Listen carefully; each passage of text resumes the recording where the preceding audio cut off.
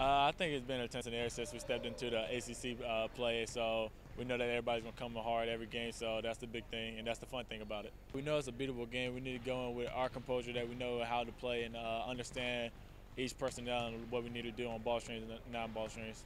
I feel like everybody's just getting into this week, getting ready for this game. Uh, this is a big one for us. Uh, we let one slip away on the road, so coming back here and playing them here, we got to get this one.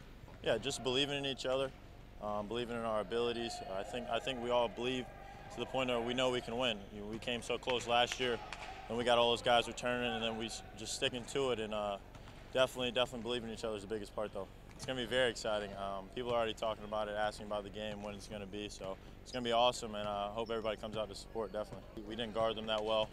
Um, offensively, no one else was really going. So, um, so Jeff definitely take, taking the shots that we need at home.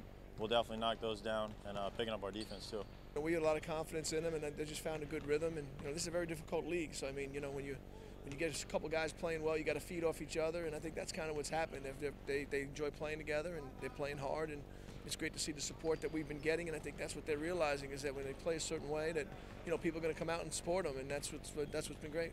I think they've understood what, what they need to do to win, and now it's February. You know, in, in college basketball, February is the biggest month, and we're three and one in the month of February, and you know, trying to get four and one, playing a great team. But, but that's what you want to do. You want to play your best basketball in February leading into March.